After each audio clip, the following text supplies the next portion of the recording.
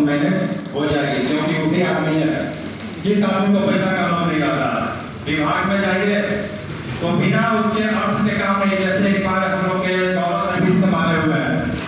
साफ़ फाइन जमा किया हो गया फाइन गायब हो गया। प्रयास किया गया, एक महीना के अंदर इनका जाँच भी हो गया असल जाँच भी हो गया। इसलिए जैसे आप लोग जो सपोर्ट देते आए सपोर्ट करते रहे, साथ बस आपस में मिलजुल जब एसोसिएशन की शुरुआत उन्नीस का हम लोग की है तो पहले दो, चार, पाँच, दस करते करते धीरे धीरे आज लगभग पचास लोग हो गए।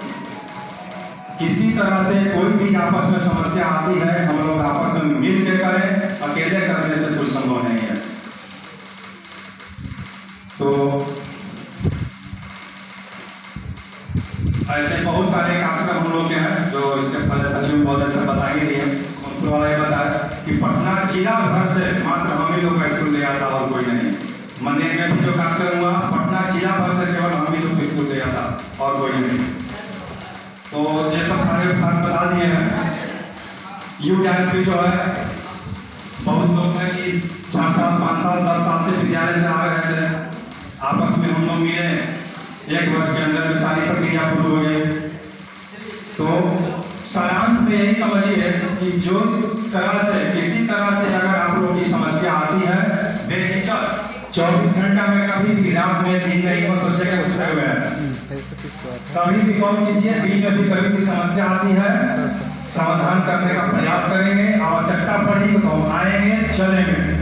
जहाँ भी जो आवश्यकता होगी आप लोग के साथ खड़े हैं लेकिन बस कोई छोटी मोटी बात से आपस में तकरार न करें लें कि हम ही हैं। वहीं कोई कार्यक्रम कराने गए। कहेंगे "अरे, हम भी कार्यक्रम लौट लाए हैं एसोसिएशन से लौटे नहीं रहेगा। अगर हम नहीं रहेंगे तो क्या एसोसिएशन नहीं रहेगा? संभव ही नहीं है। कोई एक आदमी से एसोसिएशन संभव ही नहीं रहेगा। एसोसिएशन रहेगा।